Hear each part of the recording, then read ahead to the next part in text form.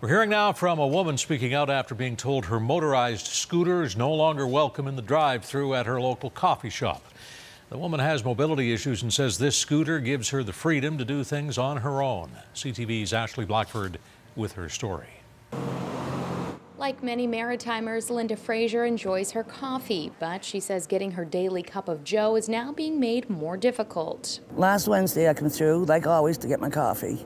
And depends whether I get a French vanilla, a nice cap, or normal coffee. And when I got to the window, they took my order at the order box.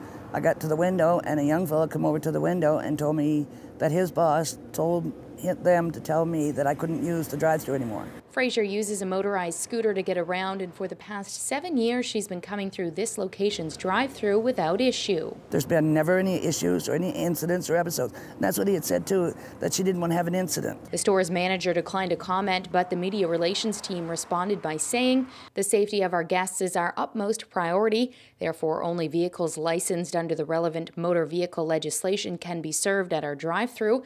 This restaurant location is fully wheelchair accessible. Fraser says with the doors being narrow, it's too hard to navigate her scooter inside the restaurant.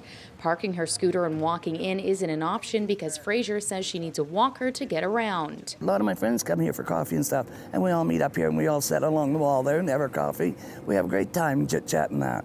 And it's just, it breaks my heart that I can't go there. It really does. It's not fair, not after seven years of doing it. It, they're taking away her independence. Peter Allward is Fraser's brother. He now has to go inside for her to get a coffee. Well, personally, I was devastated because uh, considering I know that, like, when she first got her scooter seven years ago, that she's been coming here on a on a weekly basis. Like, she's here three, four times a week, every week like also from the spring right up until late fall until the snow starts. Fraser parks her scooter once the snow starts to fly, so she's hoping the company will reconsider so she can keep her freedom for the rest of fall. Ashley Blackford, CTV News, Saint John.